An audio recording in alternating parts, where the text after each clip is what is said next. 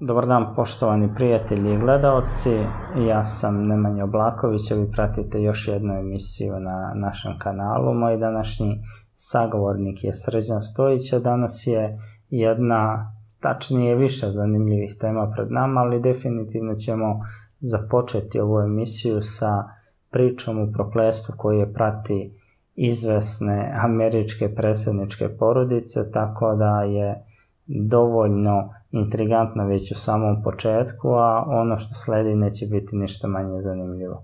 Ostanite uz ovaj sadržaj i garantovano vam je uživanje. Srđane, još jednom dobro mi došao. Bolje ti našo, Nemanja. Započeli smo prošlu emisiju vezanu za simbole, za masoneriju, za dosta nekih tajnih društava i okultističkih primesa. Tako je. I sada ćemo to nastaviti kroz primere predsjedničkih porodica. Pričat ćemo kasnije malo i o porodici Biden, ali je zanimljiv slučaj i porodice Kennedy.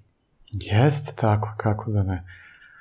Ovaj, John Kennedy je prvi predsednik Amerike u istoriji koji je bio katolik. Pre toga, i posle njega su sve protestanti, osim poslednjeg Josefa Bidena, koji je isto katolik. Znači, 42-3 koliko ima predsednika Amerike. Ovaj, samo dva su bile katoliko, sve ostali su bili protestanti. Jako zanimljiva a, konotacija. Tako, njegov otac, Joseph Kennedy, je pokušao, teo, imao volju da on postane predsednik Amerike, da on nešto uradi po tom pitanju, međutim nije mogu da dogura do tih najvećih visina i onda sve svoje sva svoj novac, sva svoj kapital uložio moć, poznanstva, uložio u svoju decu. Pre rata 30. godina je postao ambasador Amerike u Londonu. U to vreme Hitlera, Trećeg rajha, on je dugo godina radio sa Hitlerom. Da li to bilo naoružanje, da li to bilo to novac, da li to bila nafta, bilo, da li to bilo droga na kraju krajeva, bilo šta, samo da bi zaradio novac, da bi imao kasnije moć da potkupi, da lobira za svoju decu, tako. I onda dolazi da, ovaj, radio sa kriminalcima, i onda dolazi da njegov sin, 60. godine, John Kennedy postane najmlađi predsednik Amerike sa 43 godine u to vreme. Ako pogledamo sad Joseph Biden, on ima 83, 84. godinu će sad napuniti. Znači, skoro duplo stariji od, od Johna Kennedy u to vreme, tako. I John Kennedy je pobedio sa jako malom razlikom. Isto kao sad John Biden što je pobedio Trumpa jako malo razliku. 100.000 glasova je pobedio, imao je više od Roberta Nixona 1960. godine. Njega je forsirala mafija u to vreme. Mafija je tela da ima svog čoveka i on je radio za njih. Mafija u to vreme bila duboka država, kako bismo rekli, kozad nostra mafija. Imaju čak i one priče da su Nixona u TV duelima terali da stoji, pošto je čovek imao problema i onda je... Za stajanje. Jeste Kennedy, da, da, na osnovu opšteg držanja pobrao to, te simpatije da, da je da. to presudio. Ti si star, ti si bolestan, ti ne možeš da stojiš, ti, kako ćeš ti da budeš predsednik Amerike ne znam šta već, kako me mogu pričati. Tad u to vreme, 60. godina, možda zamislimo kako je sada TV debata izgleda maltene ovih, ovih godina 21. veku, tako. I kad je postao predsednik Amerike, šta se dešava? Prvi veliki slučaj što je imao jako težak, to je bilo Zali svinja i pokuša 62. godine da Sovjetski savez u to vreme instalira balističke, nuklearno balističke rakete na Kubu. To je bilo ono, Baltene, treći svetski rat. I prvi put u istoriji, poslednji put u istoriji, jedna ruska, odnosno sovjetska jedinica tada u to vreme, imala je do, dozvolu da može da upotrebi balističke rakete, nuklearno naoružanje. Nikad pre toga ni Amerikanci, ni Rusi, ni bilo ko u svetu nisu imali direktan nu naredbu da mogu odmah da iskoriste bez prethodne najave već šta. Znači, skoro bilo pri kraju. On je tu nekako izbalansirao, sve to prošlo, sve to bilo okej, okay, ali međutim šta bio? Ubili, ubili su ga 63. godine. Zašto? Zato što nije poštao dogovor sa mafijom. On je u svoje vreme, odmah na početku, postavio za ministra pravde svoga rođenog brata, Boba, Roberta Boba Kennedy-a, i misleći da će tu mafiju iskoreniti, da će uspeti da, da, da, da je jednostavno ostran iz, iz američkog društva. To je bilo njegov, njegov cilj, njegov san. I na kraju krajeva, kad je umro, mislim 18. novembra 63. godine u Dallasu su gubili i kažu da je pucano sa leđa. U stvari nije pucano sa leđa, vidi se na snimku lepo da je pucano spreda, nekoga je ubio i da je taj čovjek, nego sad da se setim što je gubio, ovaj, e, pogrešno okrivljen i ubili su ga posle par dana. Da, u sudnici, u hodniku. Ma, da, nešto to je na brzaka, nešto bilo je, tako da ga je ubila duboka država. To je faktički da, bio osvalda, da. državni udar u Americi. Državni udar.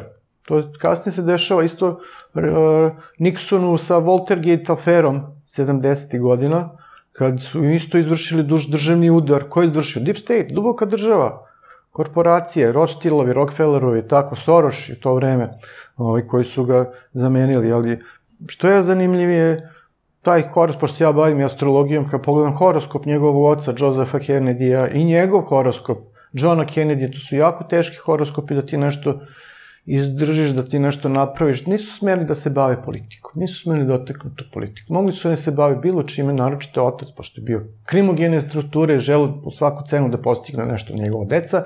Ovaj, Ali treba da ostane samo negde biznismen, da kažemo, to vreme, a ne i političar. Čim je ušao politiku, on je završio. Tu ima još neke stvari koje su, konkretno moram reći, za porodicu ili braću Kennedy došle sa politikom, između ostalih i Marilyn Monroe. Yes. Takođe glumica o čijoj smrti se i danas ispredaju legende, ima čak i ona priča da kada je ona preminula, prvo je FBI bio u njenoj kući 5-6 sati, pa tek onda su onda videli sve što ostali, treba da. i oslonili su ovaj, e, te sve ostatke što je to ona imala za sobom i onda su pozvali policiju klasično. Da, Marilyn Monroe je bila i sa, i sa Johnom Kennedy i sa Josephom Kennedyjem. Je bila u vezi. Što se dešava pre toga? Pre toga oni su imali rođen, rođenu sestru koja je bila psihički poremećena. I otac nije želao da oni u svojoj biografiji braća imaju i sestru rođenu koja je psihički poremećena. On je dao na, u bolnicu i radili su neku operaciju, nešto u, u mozgu. To je bilo, znači, kraj 50. godina I od tada se ništa ne zna za sestru rođenu. Opšte se ne pojavlja niti u novinama, niti u biografijama, nigde na televiziji, ne da su je verovatno dali u neki uh, sanatorijum da bude tamo i da se, eto, da čuti, da se uopšte ne pojavljuje. Znači, to je bila jednostavno njihova sramota što im je sestra imala malo neki poremeće. To bi mi bila jeli, velika mrlja u biografije, tako. I onda kasnije dolazi Marilyn Monroe sa svojim jeste prelepa, jedna najlepših žena ikada, kako bismo rekli, na, naročito svoga doba, ali slona alkoholu, slona tabletama, slona čim si slona alkohol tabletama, ti počneš svašta da pričaš, svašta da radiš, počneš da, da radiš neke stvari koje nisu pod realnom kontrolom, počneš da, da srljaš, počneš da praviš probleme drugima i jednostavno morali su da je slone, kako bih. Ona imala 4-5 brakova, iza sebe. Ona je tako krenula, što je bilo porno glumica, i što je imala porno slike, ona je imala teško detinjstvo, ne znam, otac umro, majka otišla, tako nešto. Znam da je bilo jako teško detinjstvo i da je, ovaj, a, a šta je detinjstvo?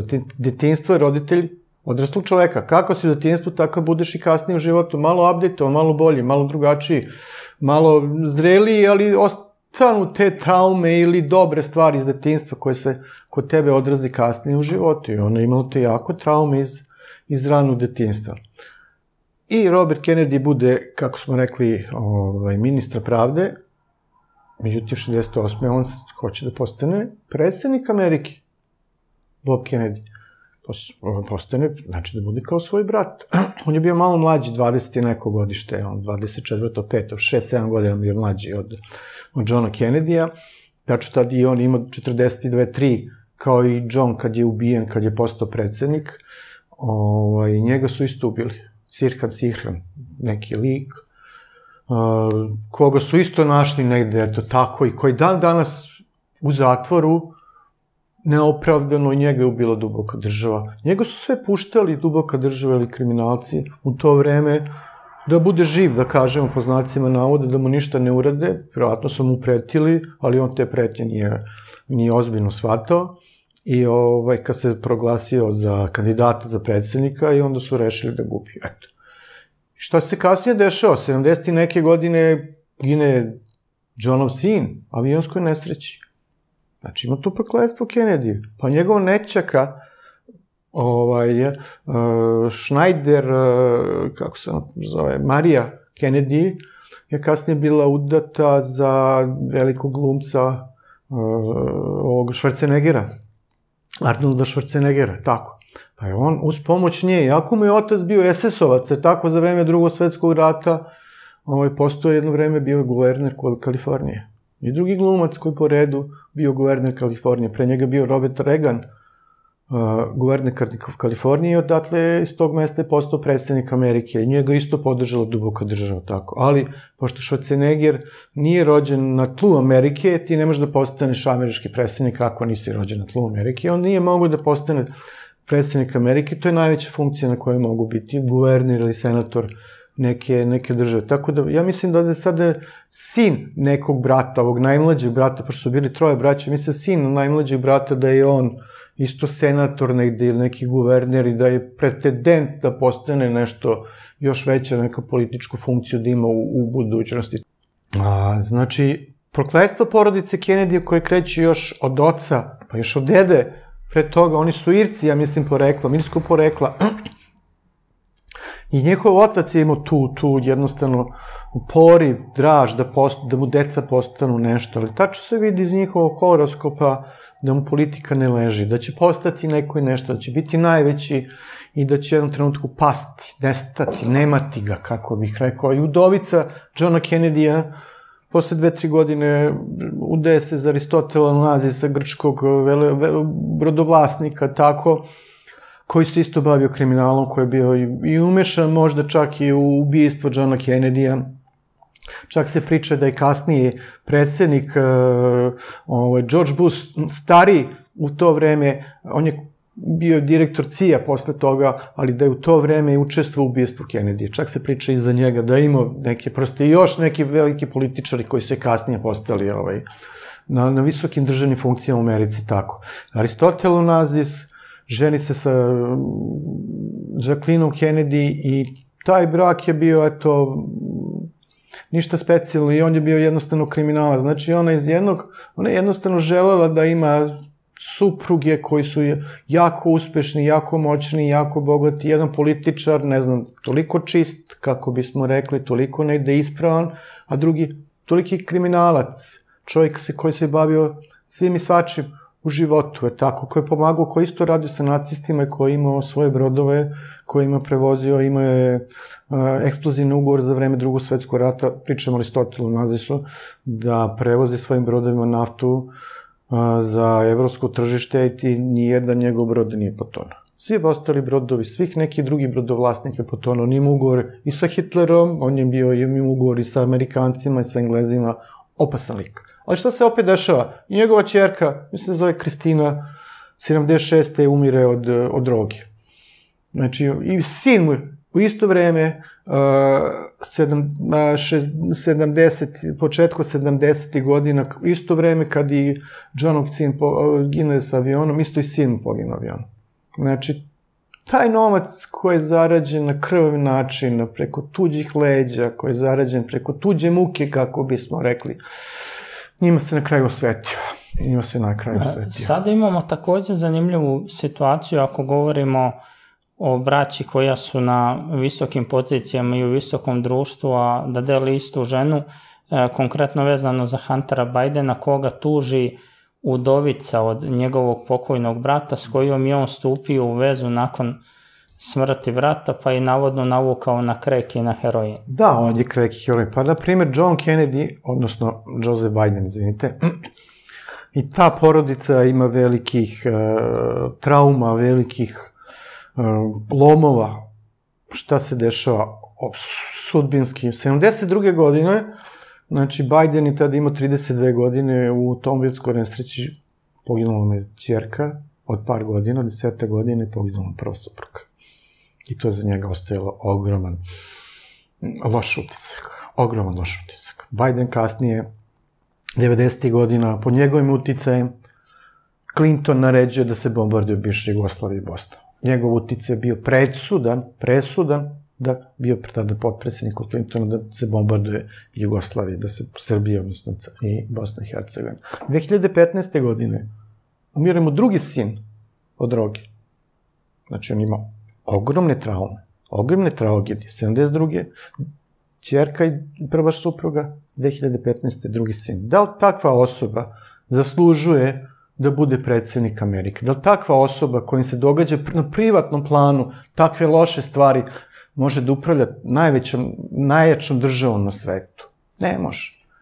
Znači, njegova karma loša će se ispoljiti i na državu. Jednostavno, taj narod te države, na njen, na njen globalnu njenu politiku, jer pres, kakav ti je predsednik, takav ti je država. Predsednik ti je jednostavno produžena ruka države. E, predstavnik kolektivnog nesvesnog te države. Kao što je nas predsednik predstavnik kolektivnog nesvesnog naše države, tako je Joseph Biden predstavnik kolektivnog nesvesnog Amerike. I on ima veliki problema. Evo ga, skoro smo pre mesec dana imali smo Trumpa koji je osuđen bio za neku podmitivanje neke prostitutke još 2006. godine, kao čovjek nema sa tolikim milijardama da nije mogo ništa da uradi, nego dao 130.000 dolara u to vreme kao nekoj nešto, da, ne, da ona ne izađe na sud i da, ne sudi, da se to ne priča pred njim. To su laži, to su prevare. I sad još Kennedy ima još četiri suđenja, još tri, četiri suđenja u nekom narednom periodu. To sve namerno duboka država radi da bi ga sprečila da postane predsednik Amerike, ali ne može, opet oni zatvara, opet može da se kandiduje, ali hoće da mu ukalje kao navodno ugled, hoće da mu ukalje kao reputaciju. Šta se dešava među vremenu? Veliki bogataši, ljudi koji su jako bogati u Americi, počeli su da investiraju on, u njegovu kampanju. Njegova kampanja do sada nije imala puno investicije, on je prvoj kampanji iz 2016. većinu stvari finansirao sam, ovu kampanju finansiraju čak i ovaj, bogataši. Hoće Elon Musk, priča se, najbogatiji čovjek na svetu, da ako bi on postao predsednik Amerike, sad na kraju ove godine, da mu postane jedan od savjetnika. Tako. Sad imamo i Kušnera, gospodina njegovog zeta koji je bio ovih dana u Beogradu i koji se sastao s našim predsednikom, koji se sastao s našim ministrom financija i koji hoće u Beogradu da gradi neka, neka čuda. Tako. O, to je bilo juče prekriče, ovih dana. Tako. A Hunter Biden isto je osuđen pre 15 dana.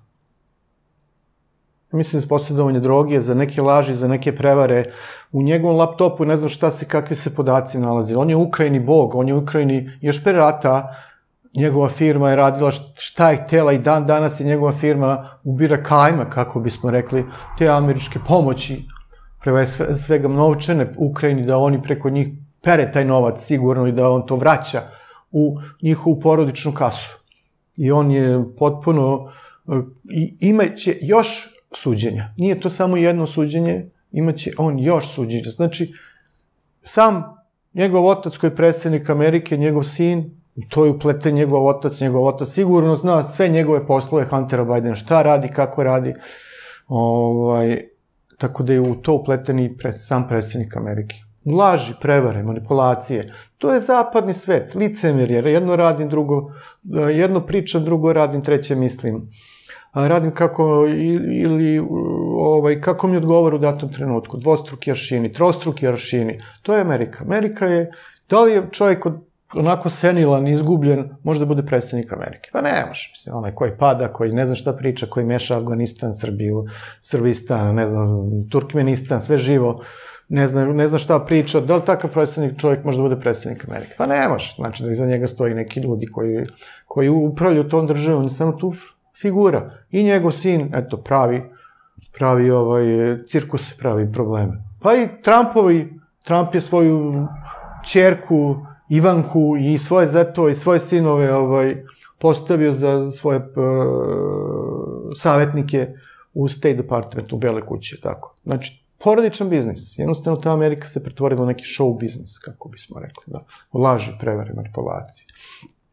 I kako Joseph Biden dobio? Dobio tako što je dobio preko tih glasova, preko pošte, preko elektorskih glasova, tih poštanskih, gde su moglo bilo ko da da na, na laž, na prevar, na odbanu. Kad se pogleda horoskop Kennedy-a, odnosno uh, Trumpa, kad se pogleda horoskop Bidena, to su dva različita horoskopa.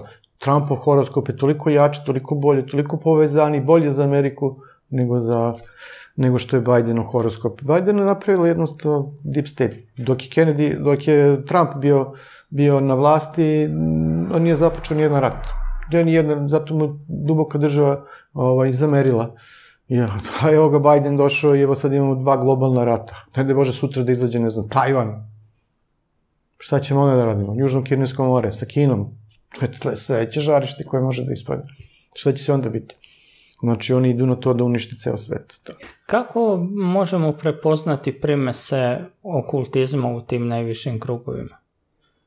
I da li misliš da se, e, recimo, te stvari praktikuju čisto da bi se kompromitovali no pridošli članovi pa potencijalno da budu usnimljeni dok prolaze kroz određeni rituali ucenjeni ili da ljudi koji to praktikuju veruju u svrsi? Oni veruju to. Da bi postao, da bi mogu da dođe do, do kandidata do predsednika Amerika, on može da prođe kroz određene inicijacije, inicijacije kroz određene tajne udruženja kroz određenje da, da učestvuju tajnim okultnim radnjama svuda. Ako ti nisi u tim organizacijama, a, ti to ne možeš da postaneš. Nema šanse. Ti to ne, ne možeš da, neće da te postave. Oni jednostavno svoje ljude, da li je to, da li je to masonerija, da li su to Illuminati, da li je to Scale Bonds, da li su to neke druge tajne organizacije, a, ne znam, Komite 300, Triletarna komisija, Bilderbergska grupa, o, jednostavno, svi oni, njihovi puleni, krenuši od, od Makrona, krenuši sad od, od, ne znam, od engleskih predsednika, krenuši od američkih predsednika, svi su oni prošli kroz tu, krenuši od Henrya Kissingera, na kraju pričali smo nešto malo pre o njemu, svi oni su prošli kroz uh, fordacije koji su finansirali Rockefellerovi, Rothschildovi, cijela ta priča. Nema šanse da oni dođu na te visoke funkcije, a da iza njih ne stoji neka okultna organizacija. Sad je to lično pitanje da li bi to oni želeli. Pa verovatno možda i neki ne bi želeli, ali jednostavno moraju. Ako hoćeš da postaneš neko i nešto, bilo gde, moraš, na, pogotovo na zapadu, moraš da si u tome. Ne možeš drugačije. Ili ako hoćeš da postaneš bilo gde, moraš da si na kokainu, na drozi, na drogama. Tako društvo, to, takav je svet, jednostavno to je baš postalo je, znači, nema ništa, nema iskrenosti, nema poštenja, nema neko svojim radom, svojim znanjem da postane nešto, nego da, da bi stavio neko iza tebe, ti moraš da se učlaniš u tu okultnu organizaciju, da veruješ u to i da radiš te radnje koje rade, koje rade u toj organizaciji da bi ti to, da bi postao kandidat za bilo gde. Preko, bez toga nema teorije. Znači, sve povezano sa tim okultnim. Na, naročito zapad je povezan sa satanizmom. Ceo zapad je materija, satana, Bog. Koji Bog? Mi verujemo u Boga, što piše na jednom dolaru. Koga Boga verujete? Ne piše koji Bog. Bogova koliko hoćeš. A tako? Novi svetski poredak. Šta je novi svetski poredak opet? Šta oni hoće? Globalizaciju neku da naprave? Hoće da unipolarni svet da vladaju iz jednog centra? Oni su izgubili sa tim svojim a, prevelikim novcem, oni su izgubili osjećaj za realnost, osjećaj za, za normalne ljude, osjećaj za, za da izađu na kafu negde da, da, da, da pričaju, da, da razgovaraju, oni su negde u svom svetu, negde u svom... Oni samo planiraju šta će biti, evo sada preko veštačke inteligencije, nanotehnologije, transhumanizma, ko zna šta oni žele.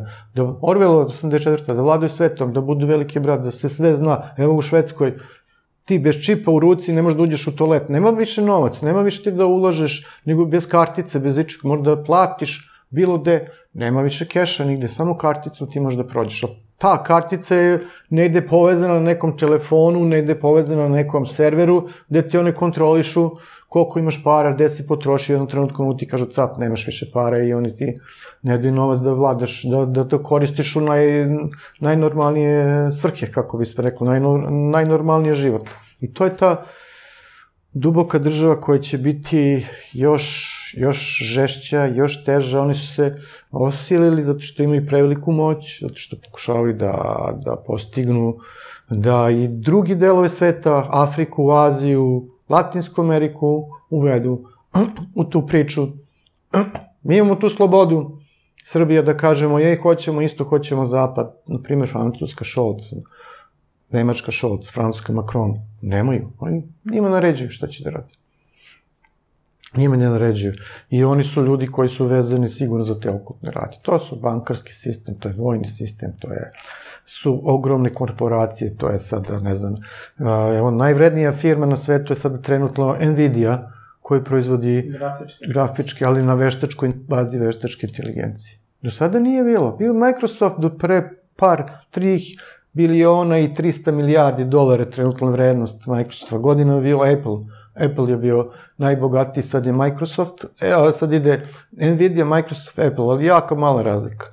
I američke firme, među 50 najbogatijih, najvećih svetskih firmi, 60% su za američke firme. Koliko oni drže? Monopol. Eto, pošto si čovek koji se bavi ekonomijom na jednom od najviših nivoa po uopšte i poziciji svemu u našoj zemlji od ljudi s kojima sam ja pričao u samim emisijama, šta znače te cifre i koja je uopšte njihova ne mogu reći realna usporedba, ali realni značaj kada kažeš 3 biliona ili Za njih to ništa biliona. ne važi. Za njih to ništa ne važi. Pa evo Amerika je dužna 33 hiljade milijarda, 33 biliona, triliona, kako hoće, triliona dolara. To je negde više nego 100, 100% njene BDP-a godišnjeg. Onda do 2000. godine negde to išlo i normalnom stopom i normalno neko zaduživanje i onda 2000. godine počelo naglo zaduživanje, naglo štampanje novca bez pokrića, da li to federalne rezerve, da imamo uh, sedam direktora koji se menjaju na 14 godina. Pazi, 14 godina ti si direktor federalnih rezervi celu života. Gde imamo, na primjer, Evropsku centralnu banku, gde su isto ovaj, privatne ruke, privatne rukama, tako. Da jednostavno štampaju novac koliko hoćeš. Uopšte njim potrebno svet je zadužen 92 milijarde 92 2 miliona dolara zadužen. Toga je Amerika zadužena 33, ne znam, Indija zadužena 14 i tako dalje. A, ogroman novac je zadužen svetu. A u rezervama svet, ima samo 12 biliona. Ko je to disparitet? 92 milijardi i 12 miliona. Ti 12 miliona, milijardi, 55% svetskih rezervi su dolari. Amerika je, nije vojno najjača. Ne, nije snago i vojno, jeste i vojno, ali ekonomski, u dolaru. Dolar je najjača valuta. Skoro 60% svih svetskih rezervi u dolaru. Petlo, petrodolar. Svi kad pogledamo kupovina u svemu je u dolarima. Ti pogledaš pšenica, kukuruz, poljoprivredni proizvod, sve se računa u dolarima. Svaki dan dobijam dnevni izveštaj, sve tu dolarima. Da li je to londonska berza, da to je njujorka, ne znam koja. Pogledamo naftu, sve u dolarima pogledamo gas, sve u dolarima, pogledaš metale, zlato, srebro, aluminiju, bakar, ne znam šta još, sve u dolarima se računa. Znači sve dok je u dolarima, dok se svet plaća dolarima, dolar je najjača. Oni bespovratno štampuju dolar. Početko 70. godina Richard Nixon je ukinuo, do tada je vla, dolar imao zlatno pokriće od kraja drugog svetskog rata pa sve do 70. neke počela velika kriza u, na Bilskom istoku zbog nafte i onda tad, to se zove fiat dolar. Jednostavno oni imaju moć političku, ekonomsku, vojnu moć da mogu sa svojim dolarom da kupe sve znači skoro 60%, 60% svetske rezerve u dolarima. Ostalih 20% rezerve je u eurima. Znači, ceo zapadni svet ima 80% uh, novčanica koje cirkulišu u svetu. Ko je najči? Pa oni. Nema tu šta. Ostale valute su, treća valuta je japanski jen, četvrta valuta je, ne znam, britanska fruna, kruna, ovo je funta, peta valuta je tek kineski juan sa 2%, 200 i nešto milijardi dolara, prema 6,6 biliona dolara američkog. I ko je jačan? Malo pre smo spomenuli 60%, 50 najbogatijih firmi američki, samo 6% su iz Kine. Znači da su Amerikanci, zapadni svet i dalje, i dalje najbogatiji, dalje najuspešniji, dalje na prvom mestu. I to se teško menja. To jeste sada počeo bipolaran svet, pa će biti o, multipolaran kasnije u vremenu, ali to je proces, to traje, to ne može. Evo Amerika ulaže ove godine 1000 milijardi dolara u naoružanje, zvanično. Kina ulaže 300 milijardi. Rusija ulaže 100 milijardi. Ceo zapadni svet zajedno sa Amerikom 2000 milijardi dolara ulaže u naoružanje. Ogroman novac. Amerika ima skoro 800 baza u svetu, vojnih baza preko 70 država. Sve ostale države koje su tu, glavne Kina, Rusija, ne znam, Engleska, Francuska, imaju 30 baza. Ovi imaju 800, ovi imaju 30. Koja je to razlika, disparitet, koja je čina Amerike? I mi pričamo da će Amerika, hoće, ide dole. Ne može imperija, mora doći, došla do vrhunca i pada. Tako i sa Rimskom imperijom se desilo, pa tako i Džingis Khan, ne znam, pa tako i Hitler, tako i Napoleon. Sve žive imperije su jednom trenutku došle do vrhunca i počele su pada. Amerika postepeno počinje da pada. Šta ona sada radi? Ona uvodi sankcije, ne znam, Kini, na električne automobile. 100% su uveli prošle mesec sankcije na, na električne automobile iz Kine. Kina proizvodi 30% svetskih automobila na, elektronski, na električni pogon. Hoće TikTok da, organa, da, da ograniče, koji kineski, da se ukrine potpuno u Americi. U Americi koristi 600 miliona ljudi TikTok, primjer Znači, potpunu blokadu hoće da uvedu Kini. Ekonomski rat se sada najviše vodi između Kine i, i Amerike. A tu Kinu su napravili ti Amerikanci, jer Kina je 60. godina ono, ima, nisu imali šta da jedu, kako bismo rekli. Umirali su desetine miliona ljudi u Kini, 60. pa i 70. godina, naročito 60. Pa onda krenula ta kulturna revolucija, kulturna reforma i Sovjeti i Kinezi su se nisu volili zbog e, toga ko će biti u prevlasti tom komunističkom svetu i Sovjeti su teli da unište Kinu jednostavno, da ih napadnu i da ih unište. Nuklearne naoružanje, čime. Ovaj, I onda je Amerika shvatila tu ima svoju šansu onda su preko Richard, Henry Kissinger i još nekih ljudi tajno pregovarali sa Kinom i Kina je onda početko 70. godina počela da se otvara u svetu, počela da prelazi na stranu Amerike. I onda je Amerika uložila u Kinu i svi za nas i proizvodi, sve se živo, počeši od plast, od ovih čaša, od telefona, od, od ove bubice, od ovih cipela, sve se proizvodi u Kini u Kini možda ti nađeš robu koja je najjeftinije kvaliteta i koja je najskuplji kvaliteta. Koliko je Kissinger oblikovao današnju Ameriku? Pa mnogo. Zašto? On je jednostavno izbjeglica, jevrej koji je dotišao u Ameriku 30. neke godine, pobjegao pred Hitlerom, jednoj Americi postao njihov stipendista, učestvuje u drugom svetskom ratu na, vre, za, na, ovaj, na strani Amerike, završio Harvard, I onda je postao stipendista Rockefellerove organizacije.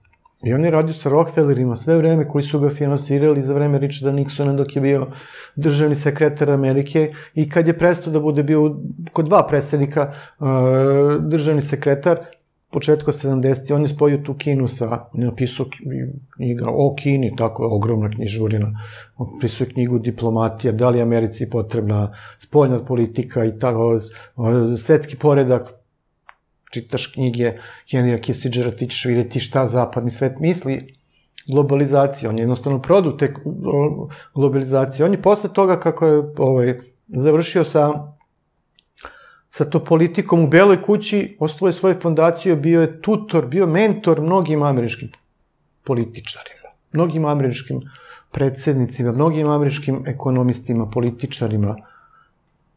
Kroz svoju školu on ih obučavao kako, na koji način treba da se komunicira, šta treba da se radi, tako da je on ostavio ogrom... A iza njega stoji duboka država. Iza njega stoji Rockefeller i Rothschildovi koji su ga podržavali, faktički on je njihovu priču prodavao tih ljudi koji su iza njega, koji su mu pričali šta treba da radi. Tako da su sadašnje generacije ovaj, američkih političara velikoj meri izrasle u odnosu na njegovu školu, na njegove misli, na, njegovo, na njegovo dela. Tako je. On je živo, eto, 100 godina. Prošle godine je bio, 50 puta je bio u Kini. Prošle godine je bio u Kini jedini koji je prihvatio, koji je bio sa Xi Jinpingom, zajedno sedao jedini strani neki diplomata ili običan čovjek, kako bismo rekli, koji je imao veliku, koga su dočekali kao, kao predsednika isto u, u Kini. Naravno da ima utica i dan danas imaće i dalje utica i njegove razmišljenja, misli idu ka tome, ali on je čovjek koji bi želeo da bude svet na bipolarnom, na unipolarnom svetu, da bude, da ne bude kao Samuel Huntington što piše u sukobu civilizacije da postoji samo jedna civilizacija, da postoji kao, da, da, da, da globalizam želi da, da postoji samo zapadni svet, zapadno mišljenje, da ono svoje mišljenje, svoju kulturu, svoj način mm, života prenesu i na druge, na druge narode. Jednostavno, Kissinger nije bio takav čovjek, on kaže Kina, Kina, zapad je zapad, istok, istok, jug je jug, ostavi tih neka ima dovoljno mesta za sve, kako bih rekao, veliki je svet, ali on je jednostavno u tome bio jako dobar. Sad, kad bi se, kad bi se ovi iz, e, ljudi iz duboke države pridržavali toga šta Kissinger misli, oni to ne bi uradili. Oni žele da vladaju svetom i to je to. Jer, ne znam, Engleska je imala 56 država u zemljama Commonwealtha. 56 država. Francuska, zemlje frankofonije, 53 države. Znači 109 država, samo Francuska i samo Engleska, koje su držale na svetu. Danas imamo u jedinim nacijama s ovim raspadom SSR-a, Srbije, odnosno Jugoslavije, bivše, imamo 193 države. Znači, više od 50% su držale samo Francuska i Engleska po svojim kolonijama. I sad imamo taj neokolonijalizam, je tako? Gde oni na drugačiji ekonomski način hoće da te porobe. Pa mi smo postali neokolonijal država, gde kod nas 80.000 ljudi radi za nemačke firme, gde 20-30.000 ljudi radi za američke firme, gde su najveći ulagači iz Evropske unije i sve to stoji lepo, ali taj zapad želi silom da ti nametne svoje mišljenje. Ali tamo šta vlada? Tamo vlada um, nema Boga. Ono što piše na dolaru, ne postoji Bog. Ta jedan dolar, širina dolara je 6,66 mm. Nije slučajno 666. Visina objeliska u Njujorku je 6660 inči. To je 169 metara. Nije slučajno 666, opet. U sredini Vašingtona nalaze se tri velike kružna toka u koji ulaze šest ulice. 6 puta 6. 3 puta 6, 18. Taj kupan zapad je napravljen na okultizmu. Da li je to verovanje u satanu, da li je to verovanje u nekog drugog boga, da li je to verovanje, ne znamo šta, Moloha, da li je to verovanje u Sovu, da li je to verovanje u Lilit, da li je to, ne znam. E, oni će imati jedino muslimani, muslimanski svet ne želi, oni će se tvrdo boriti e, da, da zadrže svoje autohtono u sredinu, da zadrže svoju neku autonomiju, oni su najmanje e, spremni na neku promenu. I zato imaju najveće probleme na Bliskom istoku. A kad si pomenuo sam e, dolar, obelesk i slično, e, da li znamo šta personifikuje ono takozvano sve videće oko? Ona piramida. Piramida ima 13 stepenika, I kad je osnovna država, Amerika, ona imala 13 država. 1776. 4. jula 1776. 13.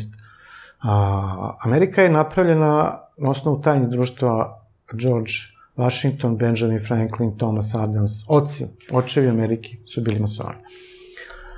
Amerika je napravljena celokupna tajna društva kolevka, majka tajnih društva Egipat. Od Egipta kreće sve. Egiptu Nova godina je kretala tako kada sunce ima helikalni izlazak sa nekom zvezdom Sirius. Sirius je zvezda najveća, dramatično najveća na nebu. To se dešava sad, trenutno se sad da to dešava, dešava 4. jula. Pošto se zvezde pomeraju i sunce se pomera, pa svake To se dešava uh, na svakih 72 godine se malo nešto pomera. Sada da objašnjam astrološki, nije važno da gledoci to ne zbunjujemo, tako. Nije slučajno što je Amerika odobrala taj datum za osnivanje Amerike, za potpisivanje deklaracije o nezavisnosti. Zašto? Pogledajmo one dolar, piramida, pa sve videće oko Horosov ili oko Ra, to su sve egipat, egipatski simboli, tako. Ona je napravila maso, masonska, velika masonska loža 1717. godine, kad je napravljena spojenje, kad su spojene četiri manje masonske lože u Londonu, napravljena velika, prva masonska loža, je napravljena za Ivandan 24. juna 1717. po starom, a po novom je 5. jula 1717. Isti trenutak je odabran da se osnuje ovaj, uh, Amerika. Isti trenutak, samo kasnije. Isti dan. Nije slučajno, zato što tog dana počinje nova godina u Egiptu. Sve je povezano sa Egiptom. Znači, nova godina u Egiptu, osnivanje masonske lože, velike, nova godina, masonska loža, osnivanje uh, Amerike. Veliki obelisk, malo pre smo ga pomenuli, koji je veliki 169 metara i u to vreme bio najveći, najveći ne, građevina što je čovjek napravio, najviša građevina, počeo da se pravi, počeo su da se radi 4. jula 1848. godine. Sve povezano negde, cela kupna ta Amerika sa Egiptom između ostalom i sa Rimom. Capitol Hill, Kongres, ne znam, Orao, sve to povezano sa imperija. Naravno da, da, da taj dolar ima toliko simbola u sebi, ima i sovu na kraju krajeva, ima, e, mi verujemo u Boga, ima masom piše ako se izdvojimo neka slova, svašta tu ima na tom jednom dolaru, taj jedan dolar nije slučajno napravljen takav kako je, to sve vidući ko kaže da ću ja vladati celim svetom, da ja to vidim sve, to je veliki brat koji će želeti da pod uh, svojim okvirljem, pod svojim okom ima sve sve ljude, kao ono u gospodaru prstenova, pa imamo ono, kako se zove, Aramona, onog, pa sa onim okom koji vidi Sauron, sve, da. Saramona, koji vidi sve, tako to oko Horusa, na toj piramidi koji vidi, koji vidi sve. Nije slučajno što je tako napravljeno. Ništa u toj celokupnoj američkoj heraldici nije slučajno. Na primjer, 1 dolar je George Washington. 100 dolara najveća novčanica je Benjamin Franklin. Dva, Benjamin Franklin je bio mentor George Washington. On je prvi čovjek koji je uveo masoneriju u Americi, koji je bio presenik, odnosno veliki majstor Filadelfijske lože 1734. godine i koji je bio američki ambasador u Francuskoj za vreme američke revolucije od Francuze dobio ogroman novac za američku pomoć. Ovaj, I kod njega su štampane prve knjige masonerije, Andersona konstitucije i još neke knjige, ovaj, nalazi se novčanici od 100 dolara. Na poleđini novčanica 100 dolara nalazi se kuća u Filadelfiji gde je potpisana deklaracija o nezavisnosti. Deklaraciju o nezavisnosti potpisali su njih 56 ljudi, od tih 56, 51 je bio mason. I samo Čajanka pre toga Bostonska, kad je 1800, 1775. 6. kad je krenuo taj rat u Americi, uh, izazvali su je masoni. Na toj kući, in the House Independent, uh, nalazi se sat na vrhu. Na tom satu piše 2.21, 14.21. Nije slučajno, kod njih se ništa ne slučajno dešava. Znači da je Amerika osnovno tačno u tom trenutku, 4. jula 1776. godine, 14 sati 21 minuta. Može se pogledati na internetu, evo, pogledajte na novčanicu od 1 dolar, 100 dolara, pa ćete vidjeti da to sve tako izgleda. I šta je radio ovaj, Washington za vreme američke revolucije? Znali su da su englezi masoni, engleska kolevka masonerije, oni sve velike oficire, generale, pukovnike, su bili masoni. A masoni imaju među sebe zakletu da ne napadaju jedan drugog. I onda su Englezi, Englezi imali veliki problem da ne ubiju svoji braću masoni koji se nalaze u američkoj, američkoj vojsci. Oni su to radili. Pa je samo Bela kuća napravljena u, i Capitol Hill, sve te zgrade su napravljene u masonskim obredima. Početak pravljene Bele kuće u masonskim obredima. Početak obeliska, masonski. Sad će jedan obelisk koji se nalazi, gde se nalaze obelisci? Oni su hteli da dovedu obelisk iz, iz Egipta, ali nisu mogli, preko, jako težak, pa put, dug put, pa preko mora, pa nekako, pa su onda na, hteli da ga naprave ovako sami o sebe. I pravili su ga 1848. do 1884. Dugo, dugo godina. A znamo li uopšte s kojom je on namjerom? I gore je piramida, na tom vrhu obeliska je piramida. To je falus, to je, ti obelisci su se nalazili u, to su stubovi Boaz Jakim, ako hoćemo sada mi to da povežemo, stubovi koji su vezani za masoneriju. Na svakom početku ulazku u masonski hram, na istoku se nalazi, usto, nalazi, zašto na istoku? Na istoku izlazi sunce i tu se nalaze dva stuba Boaz Jakim koji pričaju e, da Pored njih mora da prođeš da bih ušao u, u hram. U starom Egiptu imali smo jedan stup koji se nalazi u gornjem Egiptu i jedan stup koji se nalazi u donjem Egiptu. Sunce ulazi na gor, pošto je gornji Egipat nalazi se dole, a, a, a donji Egipat se nalazi u gore, na, prema Sredozemnom moru. Znači, obrnuto, mislili bi da je gornji Egipat gore, u stvari na mapi kad pogledaš, a donji dole, u stvari nije, obrnuto. Ti stubovi su se nalazili znači, na, na početku i na kraju Egipta. I kako sunce ulazi, prelazi preko to stuba i, stuba i kad sunce izlazi, prelazi preko to stuba. I Solomonov hrad imao u, u Jerusalimu, je tako, imao je ta, ta dva stupa. I oni su te obiliske, to je obilisci spotiču još iz starog Egipta. Šta ću u Vatikanu, koji je prestonica katoličanstva, obelisk? Šta će u Parizu obelisk? Šta će u Londonu obelisk? To je falusni oblik falus, jednostavno nedeplodnost, rađanje, ima okultnu simboliku. Nije slučajno napravljeno. Jedno od čestih pitanja vezano za Vatikan jeste da li on praktikuje samo katoličku veru? Ili ima dosta drugih primesa? Pa ima tu dosta primesa, kako da ne. Pa evo, bivši papa, ima tu dosta sekti, jezuiti, opus dei. Sam je on pao na pamet, oni što šibe što se biče Da Vinci kod sećaš se ono priče, gledao si film sigurno. Bivši papa Benedikt XVI. Reinziger, Nemac, je isto, kad je umro 2005. godine, papa Jovan Pavle II. Prvi papa koji je slovensko porekla, bio Poljak i papa koji je vladao 28 godina je bio u istoriji Vatikana drugi papa po dužini staža, kako bih rekao, na prestolu Svete stolice, dolazi Reisinger, koji je pap Benedikt XVI, koji opus Dei ga doveo.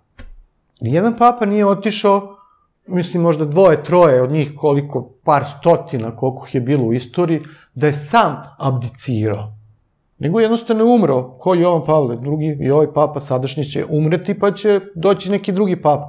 Benedikt XVI mora da abdicira, zato što je pravio ko zna kakve gluposti, pravi. Ne samo on, nego ljudi oko njega i ovaj, mora da abdicira da bi došao ovaj novi, sad, Argentinac, kako se zove, ne mogu setiti, nije važno. Tako da ima, Vatikan je država za sebe, Vatikan je najmena država za se, u svetu koja ima, boga mi, e, najveće špijunsko delovanje svud u svetu. Zašto? Jer oni imaju svuda svoje ovaj, e, sveštenike, tako celom svetu, naročito Latinska Amerika, Severna Amerika, Australija, Evropa, svuda u svetu, imaju Aziju, Africi, tako, i oni dobijaju podatke samo tako. Zašto postoji, što će Vatikanu banka? Va, va, Vatikanska banka. Nema potreba da je jedna, da je jedna država crkvena, to ti isto kao banku kad bismo sad ostavili na Svetoj gori, gde se nalazi Hilandar i oni manastiri pravostavni, to je sasvim neka druga priča, to ti isto crkvena religijska, teokratska država je tako isto kao Vatikan. Šta će Vatikan banka? Šta će Vatikan obiliska? Šta će... Vatikan je pravljen, pravljena na to katoličanstvo, šta su oni uradili? Pa oni su tu izvršili tu inkviziciju, oni su koliko ljudi pobili, sad to možda pričamo ovde, u Severnoj Americi, u Južnoj Americi, grip, boginje, 95% ljudi autotonog u, juž, u Severnoj i Južnoj Americi i vamo aboriđani Australiji su nastradali od, od, od, od njih. I oni su silom uveli katoličanstvo. Severna Amerika, Južna Amerika, Australija. Vatikan pa, može sve. Ima Vatikan može priča, sve. Da. Vatikan je najjači. Pa Vatikan je prva država koja je priznala Hrvatsku i Sloveniju kad su se odvojile. Vatikan, ono što kaže, Vatikan je imamo tu, tu osu, imamo Washington, imamo osu Brisel, kao donekle, imamo Peking, Moskvu, a da kažemo imamo Vatikan koji je najče. Šta Vatikan sprečava da prizna Kosovo? Ili iz kojih razloga još uvek to ne čini? Pa mora da imamo mi neke, neke veze, da kažemo, naša pravoslavna crkva, naši ljudi, da imaju tamo neke ljude svoje koji jednostavno su se dogovorili da, da, da, da Vatikan ne prizna da je prizna Kosovo. Zašto bi Vatikan kao, ne znam, katolička država priznala neku muslimansku državu, da kažem muslimansku državu, tako. Zbog toga, ja mislim da je to jedino neš, neko racionalno objašnjenje, jer Vatikan bi želeo da se spoji sa, sa pravoslavnom, pravoslavnom crkvom da mi postanemo jedna celokupna hrišćanska crkva, tako, ali mi to ne želimo, zato što ima toliko razlike između katoličanstva i pravoslavlja, tako. desila se ta velika šizma, sad će 1000 godina, 1054. godine se desila velika šizma, evo za 30 godina će biti ovaj, e, će biti hiljadugodišnja podela. Teško se to može desiti. Vatikan mislim da neće priznati dalje Kosovo, da to, to nama ide u prilog, naravno, to je nama ide u prilog.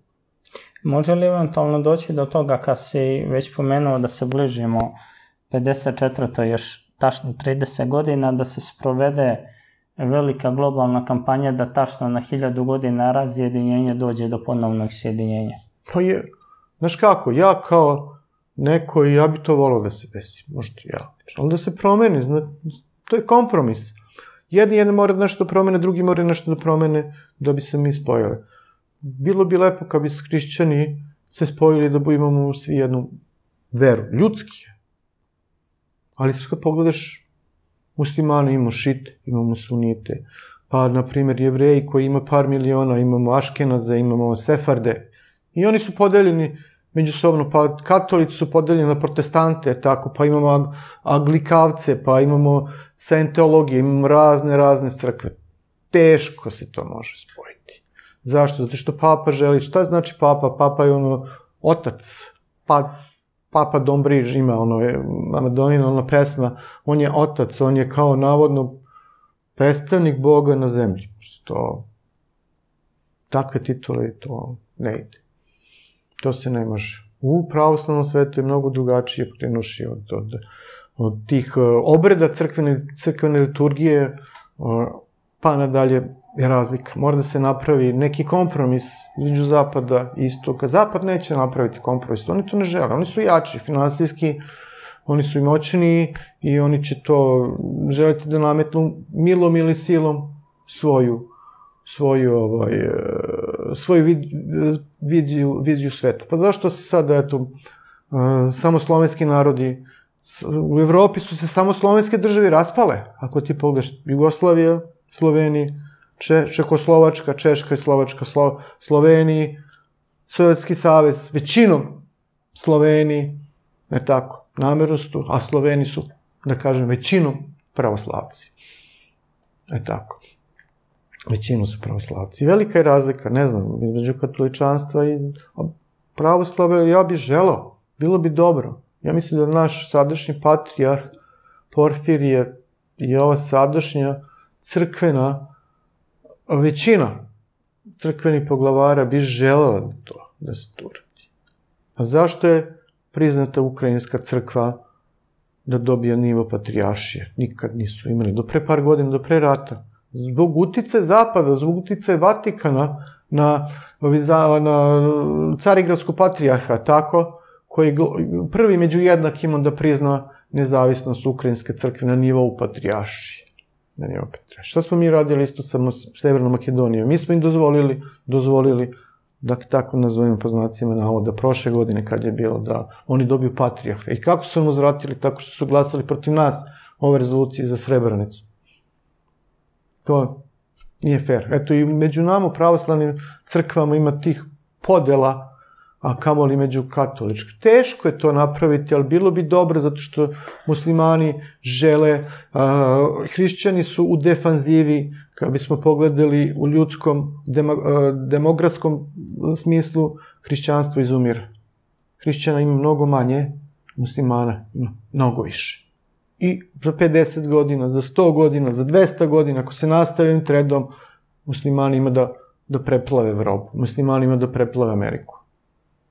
Da, pa Neće general, biti belog čoveka. Da, generalno belo stanovništvo i u ovom momentu više nije dominantno u Evropi. No, nije, tako je.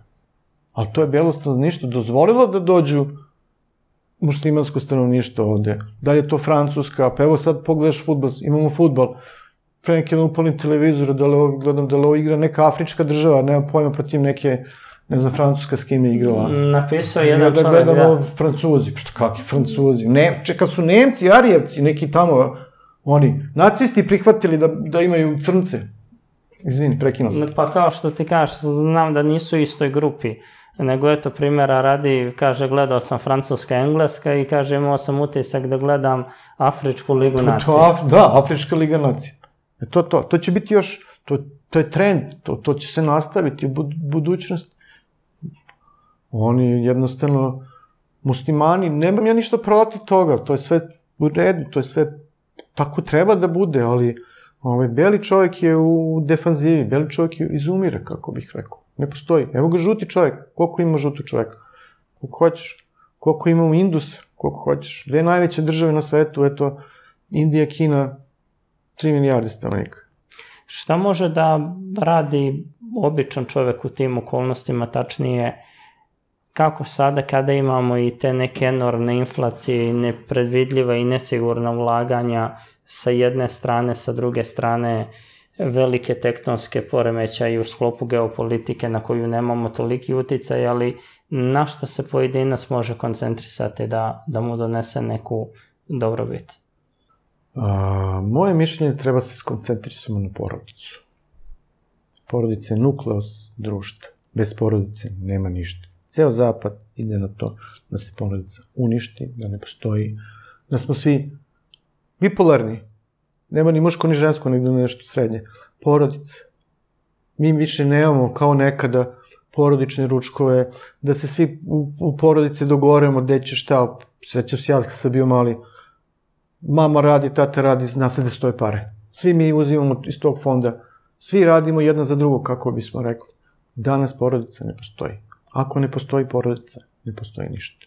Mi, Srbi, treba da težimo ka tome da zadržimo koliko je to moguće taj porodični mentalitet, tu porodičnu, kako bih rekao, religiju, ajde da kažemo, da se mi poštujemo međusobno, da se mi držimo, da se, kako ostali narodi, ako pogledaš ti, eto dole, šiptari, kako se drže, kako se drže muslimani, bošnjaci, ne znam ko već drugi, treba mi da se držimo međusobno, kod nas je od uvek bilo mnogo dugo da Bog da komši crkla krava na srcu. Mora da se drži. Ako se držimo porodicu, neka su bili ono, deda, baba, tata, mama, pa unuci, pa stric, pa strina, pa njih 30 živjeli su u komuni. Glavni oni deda gore. Ne tako? Ako imamo porodicu, i poštovati komšije. Danas uđeš ne do neku zgradu, ne, ljudi ne kažu ni dobar dan, doviđenja. Mora da se spojimo, mora da budemo, da imamo osjećaj za drugi, da imamo osjećaj da i drugi imaju svoje potrebe, da su drugi deo našeg naroda, ja nisam šovinista, nacionalista, patriot, patriot, volim svoj narod, ali da bi voleo svoj narod, ja volim da pomognem i bratu i sestri i onom komši i onom čoveku na ulici da kažem dobar dan, Najosnovnije preći nekom dobar dan kad prođeš pored nekoga. U selu kod mene, ja se ne poznaju čoveka, vidiš ne kažeš mu dobar dan. Danas ne znam ljudi da kažu najosnovniji dobar dan. Sve se pretvorilo u interes, sve se pretvorilo u glumu, manipulaciju, u neke, u šać, š, nešto sit, sit, sitničavo, nešto, neki korist, neku situ. Ne, ne možemo, ako tako gledamo na taj način, mi smo propali, mi ćemo propali. Mi smo zato i došli do ovoga da se mi držimo svi zajedno, ovo se ne bi dogodilo. Prvo porodica, pa onda komšije, najbliže okruženje, prijatelji, drugari, kolege s posla. Tu mora da se razvije. Međuljudski odnosi, jako bitni. Ljudi su se danas u eri tehnologije, veštačke inteligencije, telefona, mobilnih televizora, hiljadu kanala, hiljadu društvenih e, mreža, udaljili su se jedan drugog. Ne, to će biti još gore. Mi stari, pa i nekako, drugačije, ja sam rođen i živo odrastao u eri bez telefona, bez kompjutera, bez ičega, sa dva televizijska kanala, crno-beli televizor, ne znam šta. A, sadašnje vreme bit će još gore. Ljudi se udaljavaju jedno drugo. To nije dobro, mi Srbi treba da se, ne, nije slučajno 4S, nije slučajno sad ovaj sve srpski sabor, to je lepa ideja, to je super ideja, to ideja treba da se održava, da mi, da mi znamo svoje korene, da mi znamo gde smo, dakle smo, ku smo, da, da spojimo i Srbe i dijas, cele dijaspore, koliko ljudi u ovim prokletim ratovima tri, otišlo ili, ili od trbuhom za kruhom, koliko je napustilo zadnjih 50 godina ovih naših krajeva Srba, koliko ih ima, ima ih nas više u svetu nego što nas ima ovde u naših krajeva. Mora da se spojimo. Kako su jevreji uspeli šačica i jada, toliko malo ljudi da naprave, da budu jači od Amerike. Lupa, nisu jači od Amerike, ali ima tolike utice u Americi, tolike utice svemu. Zato što su se držali jedno drugog. To je suština što treba da rade Srbi. Ako smo jednaki, ako smo jedan za drugog, svi za jednog, jedan za sve, ono, tri mosketara, četiri mosketara, sve možemo. Ako nema toga, nema ništa. Srđane, eto za sam kraj kako ljudi kojima su potrebne astrološke konsultacije da te kontaktiraju? Pa mogu mi naći na vre, mrežama ovaj, na Facebooku, na, ima me na Instagramu, ima tamo moj broj telefona, ima dosta na YouTubeu mojih uh, gostovanja na razno raznim emisijama, mogu mi tako naći na taj način. Hvala ti puno na ovim informacijama. Hvala tebi na pozivu. Poštovani gledalci, hvala i vama na pažnji.